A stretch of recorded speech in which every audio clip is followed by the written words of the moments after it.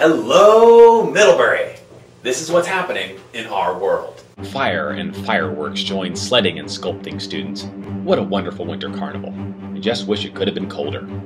Then, the future of Vermont's only nuclear power plant hangs in the balance. This is a debate we hope doesn't get any hotter. Also, how can we gain a better understanding about the Middle East? Opportunities are arriving on campus. This is Midd 5.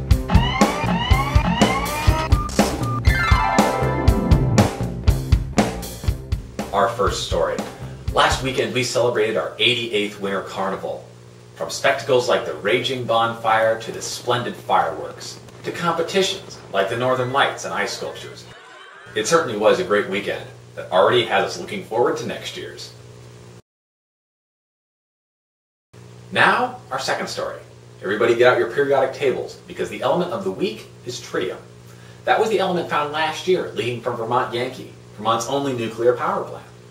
Governor Shumlin hopes to shut down the plant, but if that happens, 650 Vermonters will lose their jobs.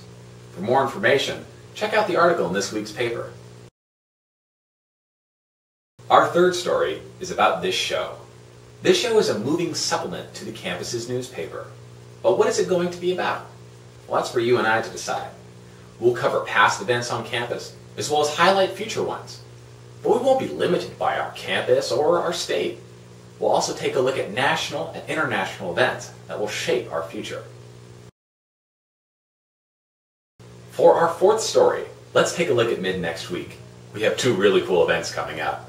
The first is the Spring Symposium on Justice in America. The action starts this Sunday with a keynote speech entitled A Hip Hop Theory to Justice Race and the American Justice System. There will be workshops and lectures throughout the week given by lawyers, reform activists, and even ex prisoners. Second up, I give you Turf Wars.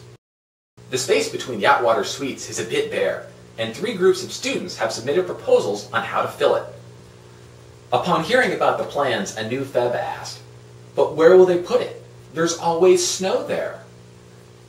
The proposals range from an outdoor performance space to a garden to a plaza with a pond. These groups will face off next week in the Dana Auditorium, and the audience will get to provide input on the final decision. All we know for sure is that come next fall, there will be something new in the Atwater area. We can only hope that someday it will not have to be closed and then only used for continental breakfast. Our fifth story. Whenever someone says they're taking a course regarding the politics of the Middle East, I say, oh, you wanted an easy course. It's hard to speak with confidence about the Middle East, but it is a region on the rise, and understanding it may prove important not just for members of our new Arabic major, but for our entire generation. What do present events mean for gas prices or the war in Afghanistan? In 10 years, will countries like Egypt, Libya, and Tunisia be feared or vacation spots? We don't know yet. But the next opportunity to learn more is at a presentation by a recent alum who spent three years traversing all around the Middle East, including spending two weeks at the epicenter of Egypt's revolution. Those are the five. Thank you for watching our first show. This is the start of a dialogue, of a journey for you and I. So please leave a comment. I'm determined to make this the best show that we can. Only 83 days remain in this semester. Let's make the most out of them.